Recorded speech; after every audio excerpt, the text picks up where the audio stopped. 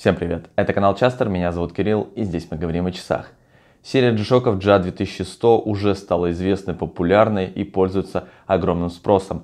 Но в феврале 2021 года выходит прозрачная версия, которая полностью меняет игру. Дело в том, что она выпускается ограниченной партией, поступает в магазин в ограниченном количестве и сразу раскупается.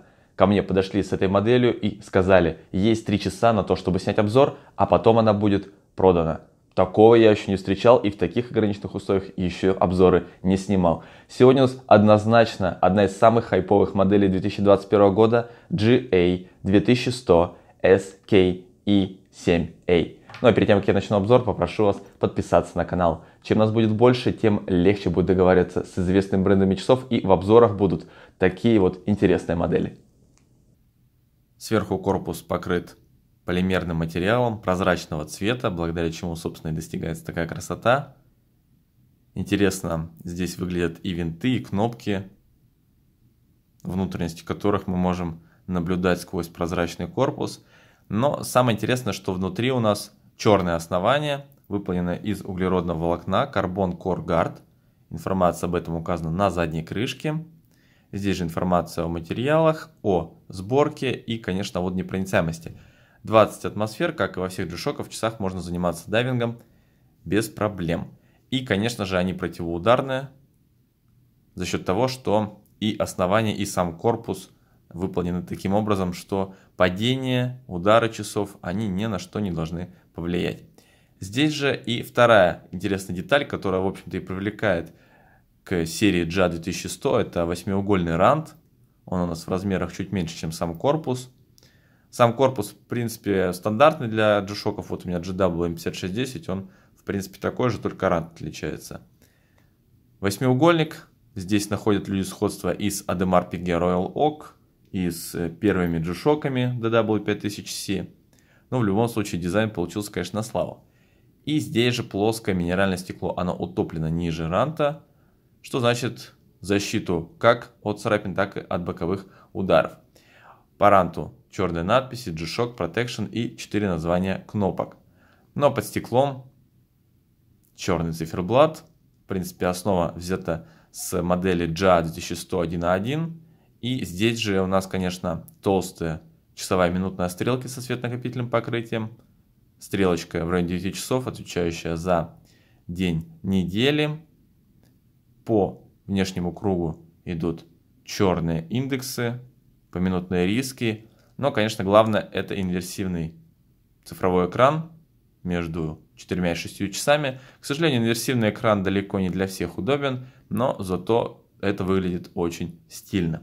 По функционалу здесь, в принципе, все стандартно. Мировое время, можно посмотреть время в одном из часовых поясов. Далее секундомер, точность 1 сотая и измерение вплоть до 24 часов. Таймер обратного отсчета, точность 1 секунда и также измерение до 24 часов. И функция будильника. Здесь у нас 5 будильников. И здесь же можем задать почасовой сигнал. То есть в начале каждого часа будет короткий звуковой сигнал. Давайте же послушаем, как будет звучать наш будильник.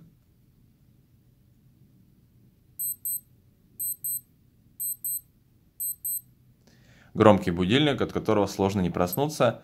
И все по функциям. На самом деле здесь функционал вполне себе простой, стандартный для G-Shock'ов.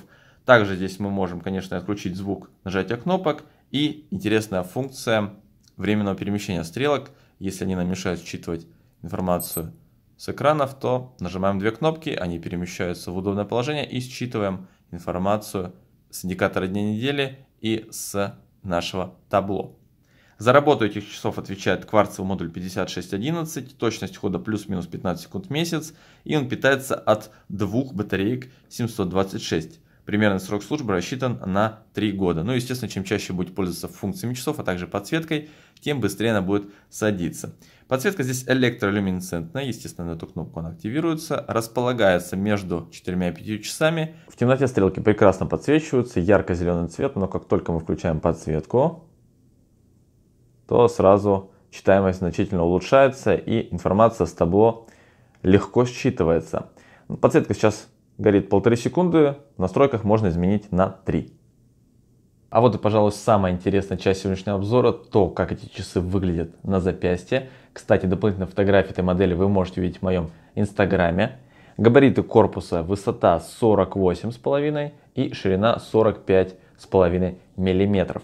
Толщина 11,8. Часы не такие уж и толстые. Измеряется по ранту у нас толщина. Что же касается ремешка, то он, как вы видите, максимально прозрачный, как льдинка. В отличие от корпуса, корпус все-таки немного мутноват, ну а ремешок полностью прозрачный. Расстояние от края до края ушка 26 мм, то есть ширина начала ремешка 26 мм. Далее он сужается и переходит в классическую пряжку, часть которой мы, кстати, видим сквозь этот ремешок. На запястье от 14 до 22 сантиметров подходят эти часы, то есть от мала до велика. На маленькие, на средние, на крупные запястья подойдут всем.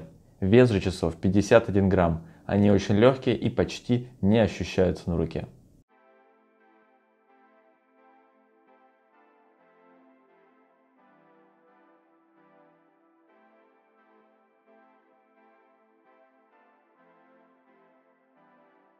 Действительно необычная модель, идеальный вариант, я думаю, на лето, в отпуск, на море. Ну и, конечно, ее можно использовать и на каждодневную основу, но учтите, что в яркие солнечные дни читаемость инверсивного дисплея не так хороша.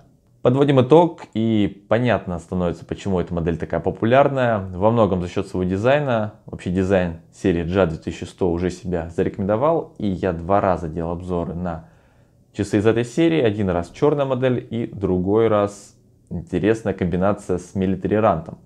Здесь же к этому дизайну добавляется фишка в виде прозрачного корпуса и прозрачного ремешка. Безусловно, модель выделяется из общего ряда и выглядит это красиво. Очень красиво вживую это выглядит. Плюс здесь мы имеем и стандартные джишоковские преимущества. Это и противоударность, и водонепроницаемость, и функционал. Да и также подсветка здесь не подвела. Комбинация электролюминесцентной и цветнокопителя на стрелках прекрасно работает в темноте, однако здесь нет, конечно, функции автоподсветки, которая свойственна для большинства G-Shock'ов. Но это здесь компенсируется некоторыми другими свойствами, например, функция временного перемещения стрелок или же втулками на нашем ремешке, которые позволяют с легкостью его менять. Кстати, что касается ремешка и его смены. Возможно, у вас возникнет вопрос, а не начнут ли эти часы желтеть, особенно ремешок. Ну, вы знаете, я думаю, что со временем, конечно, это начнет происходить, но учитывая то, что Casio работает над качеством материалов, я думаю, что это не ждет вас в ближайшее время. То есть, скорее всего, это, конечно, произойдет через несколько лет эксплуатации. Но это, конечно, все зависит от того, кто и как их использует. Если же брать какие-то существенные недостатки, которые видимы здесь и сейчас, то инверсивный дисплей, хоть он и стильный, но далеко не самая лучшая читаемость и далеко не всем он подойдет. И, конечно же, здесь стоит отметить редкость модели. Ее очень сложно найти. Даю вам небольшую инсайдерскую информацию. Ожидается поступление этой модели снова в Россию где-то в июне, в начале июня, поэтому следите, записывайтесь в виш-листы в магазинах, делайте заявки, но, к сожалению, больше я ничем не могу помочь. Цена модели где-то в районе 11-12 тысяч рублей. И за этот экземпляр, я думаю, это просто невероятный ценник. Однозначно стоит брать. Я даже уже сам себе задумался об этой модели и на самом деле не хочу отдавать обратно. Хочется ее оставить себе и носить этим летом. В конце хотел бы узнать и ваше мнение по поводу этой модели. Обязательно оставьте его в комментариях под видео. Также, если вам понравилось, то поставьте лайк и подпишитесь на канал. Ну и, конечно, поделитесь этим видео с друзьями. А на этом все. Всем пока.